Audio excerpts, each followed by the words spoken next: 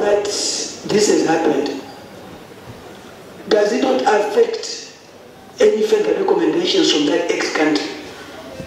And now the former whoever recommended, recommended is no longer there.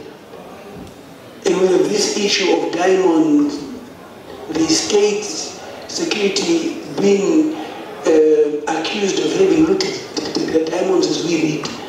And yet with this person detained, we call it private jet that would come into the country anytime, and many other assets.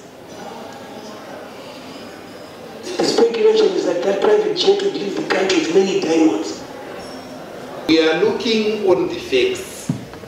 Insofar as our diamonds are concerned, he came and did some prospecting, found no diamonds, and he abandoned the issue of diamond mining, donated equipment to us, which we took, and we went on to go and mine diamonds with the ZMDC.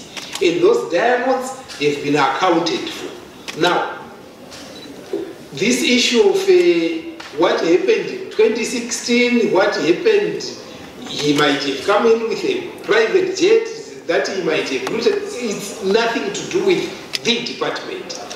The department had a claim, and I have explained in full on what happened on that claim. That claim, insofar as ZMDC are concerned, the Consolidated Diamond Mining Company, is all there. We did not mine any diamond which we gave to anyone as the department. We did not. And there is no evidence whatsoever to say anything to the contrary. You know, we had our claim, we did what we did on it, and ultimately ZMDC and the Consolidated Diamond Mining Company are the ones who are sitting on that claim. So these other speculations and so on that I don't know, and I cannot comment on speculations.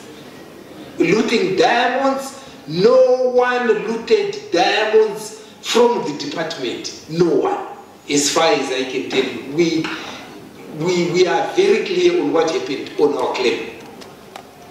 What happened elsewhere, that I cannot comment. I don't know. I can answer on my claim. And on that one, I, I think testified to the best of my ability. Thank you, Mr. Chairman.